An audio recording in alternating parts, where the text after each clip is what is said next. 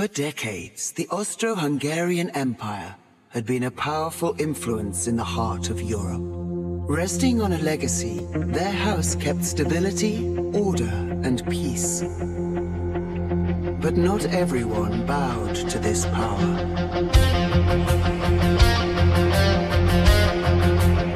In the summer of 1914, the Archduke Franz Ferdinand of the Empire is visiting Sarajevo, unaware of the assassins awaiting him and what will come.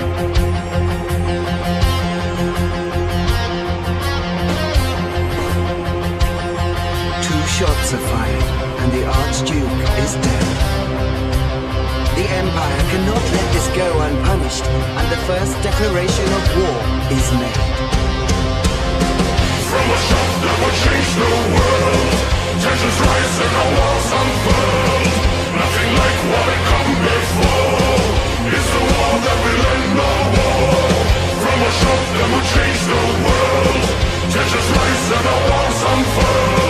Nothing like what had come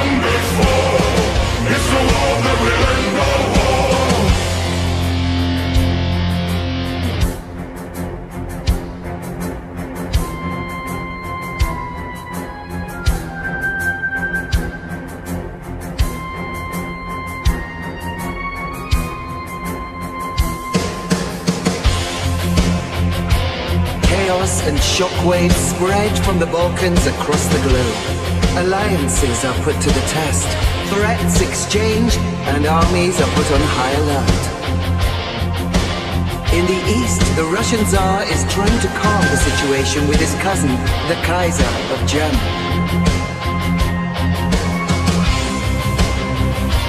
But it is all in vain. The situation is out of control. War is unavoidable.